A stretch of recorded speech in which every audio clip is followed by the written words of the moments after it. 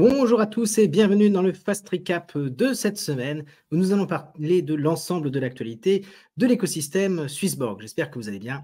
C'est parti. Première nouvelle parmi les fonctionnalités qui ont été ajoutées dans l'app. À présent, tout le monde a la visibilité sur l'onglet euh, Today, l'onglet Aujourd'hui. Vous allez retrouver eh ben, typiquement euh, les annonces du jour, une série de tokens que vous allez pouvoir euh, sélectionner, une sorte de watchlist, et en dessous, des articles d'information. Enfin, ça y est, tout le monde a accès à cette fonctionnalité. Deuxième chose est apparue, et là, cette fois-ci, ce n'est pas encore pour tout le monde, mais un prix de revient unitaire par token, ce qu'on appelle également le PRU, qui est une moyenne pondérée des prix d'achat. Et donc ici, on a eu un exemple qui a été partagé sur Twitter de quelqu'un qui a accès à cette fonctionnalité. Il l'a fait pour Chainlink et on voit bah, que lui, euh, le prix euh, moyen d'achat est autour de 6,78$. Euh, donc félicitations à lui, il est en belle performance sur son token. On, imagine clairement la période d'accumulation qu'il a pu faire sur euh, ce jeton. La sortie du token Jupiter, le JUP, qui est un, agrégateur de DEX sur la blockchain Solana et qui a été listé le premier jour sur l'application Swissborg. Donc c'est plutôt une, belle prouesse. Euh, ça a été lancé dans la foulée avec euh, également Kraken, Binance. Donc Swissborg fait partie des premiers à l'avoir listé et c'est un des projets qui a le plus de fondamental sur la blockchain Solana. C'est un peu le concurrent finalement de Paraswap. Donc c'est vraiment quelque chose de costaud. Pour autant, ce n'est pas un conseil en investissement. Chacun fait sa propre recherche. Et donc le PIT, là, c'est un autre token qui va bientôt arriver. C'est un petit peu euh, un concurrent de Chainlink dont on a parlé juste avant. Et Swissborg fait partie des partenaires qui fournissent de la data au réseau PIT. Donc on attend avec impatience que ce soit listé. Il y avait également cette semaine une alpha avec le projet Colony Lab qui permet d'investir dans des petits projets euh, sur la blockchain Avalanche. Donc euh, c'est parti extrêmement rapidement. On a eu dans la semaine des confirmations et notamment avec un article qui est sorti sur le blog ou sur l'académie qui parle de la nouvelle thématique qui va sortir, c'est la thématique gaming. Et je vous l'avais déjà communiqué lors du live qu'il était prévu que cette thématique gaming va sortir autour du 14 février, donc pour la Saint-Valentin. Une thématique euh, qui semble être euh, très attendue par la communauté, notamment euh, parce qu'elle sera co-construite avec les experts de Xbox. On poursuit avec une information clé très importante de voter pour le vote des gardiens. Vous avez la possibilité de choisir comment cette allocation de petits frais qui sont collectés dans l'appli vont être redistribués, soit auprès des votants, soit détruits avec la fonctionnalité Burn ou alors avec euh, le safety net. il y a une quatrième option cette fois-ci, c'est de participer à une campagne publicitaire donc sur les réseaux sociaux, euh, probablement YouTube, Twitter et peut-être Instagram, euh, que sais-je. Donc voilà, le vote est ouvert, j'ai déjà pu voter, donc n'hésitez pas à le faire. C'est important parce que maintenant on a un vote tous les trimestres et donc la récompense est plus importante si vous votez. Autre élément, et là ça a fait couler beaucoup de tweets, c'est la mise à jour des frais sur Genesis qui a été euh, annoncée à la communauté jeudi matin. Cette mise à jour concerne quoi? Eh bien, jusqu'à présent, les Genesis avaient euh, deux tarifications, une tarification à 0,25%, qui est déjà la moitié de ce que payent euh, les générations. Les générations sont à 0,50% surtout. Mais les Genesis, ils avaient 0,25% sur la quasi-totalité et il leur restait depuis, c'était l'historique, depuis le début, en fait, 0% de frais sur euh, Bitcoin, le Borg et les stablecoins, euh, avec des fiat, hein, ça marchait également. Des gens qui restaient dans ces, dans ces zones-là, euh, ils étaient à 0% de frais. Et si par contre, ils faisaient un mouvement, par exemple, Borg vers Ethereum ou BTC vers Ethereum, eh bien là, s'appliquaient les 0,25% de frais. Donc voilà un petit peu ce qui a été remis, remis à plat par, par Swissborg. Il s'en est suivi une réaction un petit peu épidermique de la part de la communauté, ne comprenant pas ce changement et surtout ne comprenant pas pourquoi ce changement a été pris sans, euh, sans nous consulter. Il est vrai que Swissborg a une approche community-centrique. On se demande pourquoi quelque chose finalement d'historique et qui a été euh, pour beaucoup une des motivations à passer Genesis euh, avant la clôture, eh bien finalement est, remise à plat sans concertation, sans discussion et sans peut-être trouver un terrain d'entente. les réactions donc étant nombreuses, Cyrus a fait deux événements sur euh, Twitter euh, le vendredi soir. Je vais profiter du coup d'un travail fantastique qui a été fait par notre ami Nico Connett pour vous faire un résumé. de toute façon, ce sera finalement son résumé de ce qui s'est dit et je vous invite à, retrouver pour une meilleure lecture directement son tweet Hop, donc on y est. Euh, donc ça a été traduit par notre ami Nico Connett en plusieurs langues. Et donc là en français. Donc on va le, on va le faire ensemble. Euh, ça va nous prendre 4-5 minutes. Euh, c'est assez court. Puis évidemment, on analysera tout ça la semaine prochaine au gré des évolutions que Swissborg fera peut-être Donc, donc voilà. Donc le problème vient de la manière finalement dont ce changement a été pratiqué et non pas de la hausse de 0 à 0,25%. Parce qu'effectivement, la communauté est tout à fait disposée et ça, j'ai pu le lire dans l'ensemble des, réactions, que ce soit sur Twitter, Discord, Telegram, un peu partout dans les cercles. Finalement, le 0,25 peut s'entendre parce que euh, offre un service et ce service, euh, bah, il a un coût de fonctionnement et ce coût de fonctionnement, il est, suffisamment lourd pour que des petits frais euh, doivent être pris pour pérenniser les investissements dans l'entreprise afin que nous ayons une application de plus en plus forte. Donc ils reviennent un petit peu là-dessus et ils reconnaissent ici hein, qu'ils ont merdé. ils aurions dû approcher ceci de manière différente avec une AMA, une présentation et la communication n'était pas bonne. C'est très bien de le reconnaître la frustration dans le manque de gouvernance en général afin que les membres de la communauté puissent être davantage présents dans la prise de décision ou au moins être en mesure d'apporter quelque chose de mieux à la table. Effectivement. Donc euh, là, il y a eu un écho de la communauté, peut-être que ça sera entendu. Donner 0% de frais sur les paires les plus utilisées n'est pas seulement une perte d'argent pour Swissborg, nous disent-ils, mais c'est un coût très important pour la société. Il nous expliquait que ici, le coût pour l'entreprise, était de l'ordre de 15 millions sur euh, l'année dernière. Donc effectivement, 15 millions, c'est beaucoup. On, se rappelle que la levée de fonds de la série, euh, A, c'était 20 millions. Donc ça veut dire que si on avait euh, facturé depuis le début les 0,25%, en tout cas sur l'année 2022 ou 2023, on n'aurait pas eu euh, besoin finalement de cette, levée de fonds. L'équipe est parfaitement consciente du mécontentement lié au Borg, en particulier pour ceux qui l'ont acheté très haut et sont rentrés dans un premium, qui n'ont pas encore pu rentabiliser. Le but premier de Swissborg reste de pousser le Borg dans le top 50. Ils sont conscients d'en être encore très loin. Beaucoup de choses sont en développement et Swissborg ne veut pas de clients, elle veut des membres de la communauté actifs pour lesquels elle peut construire. Donc ça, c'est un élément qui est clé et que personnellement j'attendais et je pense que j'aurais envie d'entendre beaucoup plus, c'est de la part de Swissborg la reconnaissance que nous ne sommes pas des clients, nous sommes des membres clés de la communauté, que ce soit les Genesis, que ce soit les premium générations, que ce soit toute personne qui utilise l'application, nous ne sommes pas des clients. Et le jour où ça, ça changera, eh ben moi, je ne serai plus là. C'est clair et c'est précis, euh, parce que ce n'est pas la vision qui, euh, qui, qui, soutient euh, pour moi Swissborg depuis sa genèse.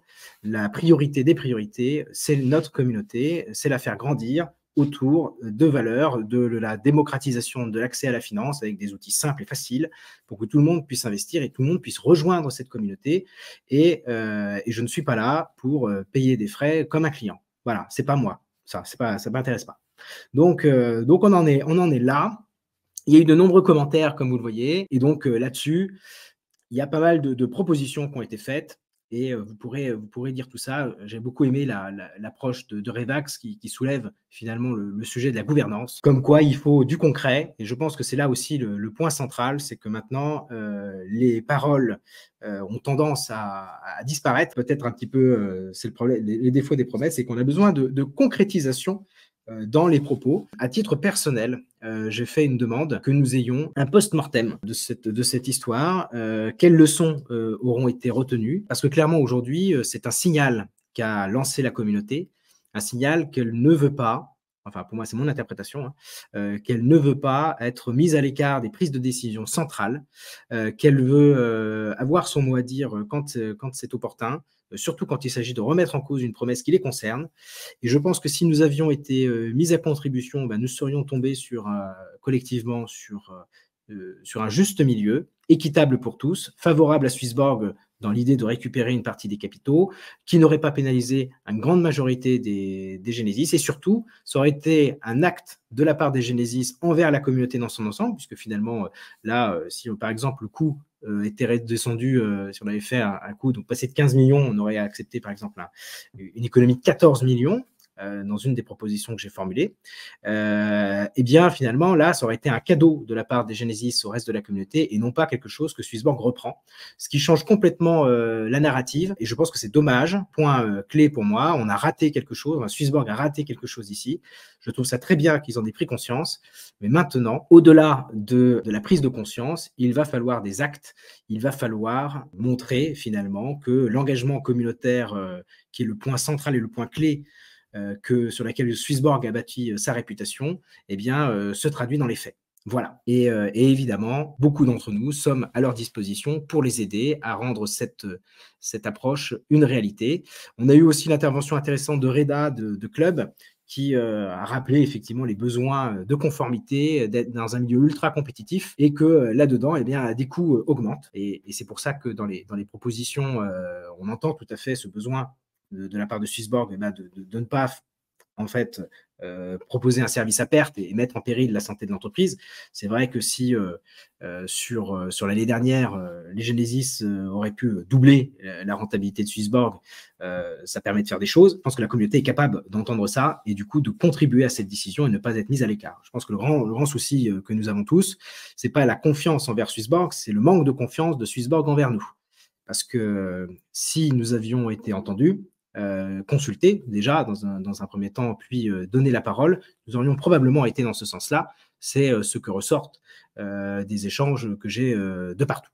Et, le fait de ne pas nous avoir laissé euh, cette opportunité-là, eh bien, casse un petit peu cette confiance. Le mot de la fin, euh, surtout, bon, voilà, ceux qui sont sur Lausanne, euh, la semaine prochaine, sachez qu'il y a un apéro qui est fait mercredi 7 à 18h. il y aura certainement la possibilité d'échanger et de communiquer que vous avez envie de dire. Et comme ils sont à notre écoute, eh bien, de rappeler finalement ce, besoin que nous avons de, de passer euh, dans les faits. Voilà, voilà, le petit mot de la fin. Euh, nous voulons vraiment vous offrir la liberté financière et nous voulons vous offrir le meilleur service possible par l'intermédiaire de Swissborg et du Genesis. Et puis parfois, vous savez, il y a des décisions que nous prenons qui sont dans le meilleur intérêt de tout le monde. Et à court terme, elles sont vraiment pénibles pour certaines personnes, effectivement. Nous allons bien entendu mettre l'accent sur le jeton Borg. Comme vous le savez, il y a beaucoup de choses qui se préparent, dont certains ont peut-être entendu parler la semaine dernière. Bon, ça, si vous voulez entendre ce qui s'est dit la semaine dernière, je vous ai fait toute la vidéo sur le méga focus. Je pense que le principal enseignement de tirer de ce call est que la communication est mauvaise devons trouver un moyen de redonner de la beauté au Genesis. J'aime l'idée du Pegasus, des vols, d'essayer de trouver d'autres moyens différents pour les frais de transaction, en particulier pour ceux qui font beaucoup de transactions. Il y a donc plus de personnalisation dans ce domaine. Encore une fois, je vous présente mes excuses pour cette erreur de communication et pour ceux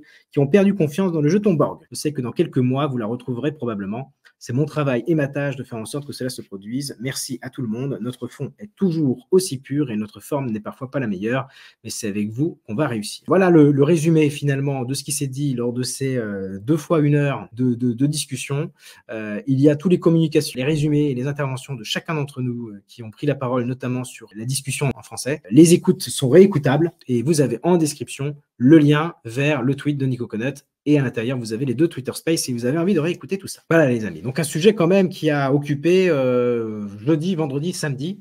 Euh, la communauté avec énormément de réactions. Et voilà. Autre sujet, bon, la semaine dernière, nous étions avec euh, Cryptophile sur euh, présenter un petit peu l'association de We Are Swissborg, qui vise à, rassembler les énergies qui s'intéressent à Swissborg et qui ont envie bah, de, rentrer dans l'action. On parlait d'action, rentrer dans l'action. restez à notre écoute puisque nous faisons de petits progrès sur la création du site internet que nous vous tiendrons informés de la suite. Et on va à présent parler de Xborg puisque Xborg a mis en place auprès de sa communauté une consultation pour savoir s'ils allaient lancer ou non une pré-sale avant euh, l'événement euh, du TGE qui consiste à, lancer le jeton avec une, vente sur le marché. Donc il y a une pré-vente qui a été décidée. En effet, les Prometheus ont voté et euh, ça a été à plat de couture. 95%, je crois, des Prometheus ont, ont validé l'idée qu'il y aurait une pré-sale. Donc il y a une pre-sale, vous avez un lien dans la description qui va vous permettre eh bien, de manifester votre intérêt si, euh, vous le souhaitez. Euh, qu'est-ce que ça apporte? Généralement, les pre-sales sont limités et si vous ne manifestez pas votre intérêt, eh bien, ça se fait sans vous. Voilà. Généralement, le deal est plus avantageux via une pre-sale que d'attendre le dernier moment. Généralement, quand c'est le dernier moment aussi, bah, vous avez le risque de ne pas pouvoir prendre participer parce que il y a beaucoup beaucoup de concurrence. Justement, l'objectif de cette pre-sale est de et de faire connaître euh, Xborg sur le marché avec une pré-sale réussie, eh bien, euh, ça, fait comprendre aux gens que bah voilà, le token, lui aussi, va probablement bien fonctionner quand il sera euh, lancé sur le marché. Et donc, ça crée une belle dynamique. Donc, c'est plutôt une bonne stratégie marketing. Voilà, je continue avec une information euh, aussi par rapport au projet Cyborg, sur lequel je ne m'étendrai pas ici, mais sachez que la semaine prochaine, jeudi et normalement à 18h, je recevrai Maxime, qui est le fondateur de Cyborg, qui répondra à nos questions.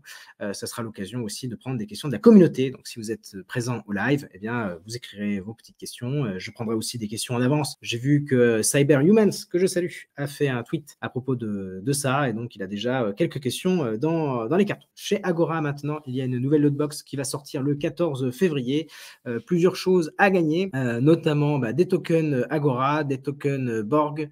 Il y a aussi des Epcoin tokens, des NFT comme James, comme Mocaverse, etc. et des, des, des NFT de chez Agora.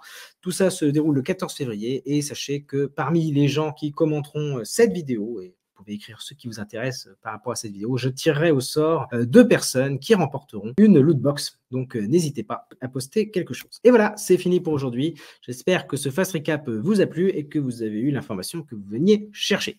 Je vous souhaite à tous une excellente fin de week-end et je vous dis à la semaine prochaine. Ciao, bye bye.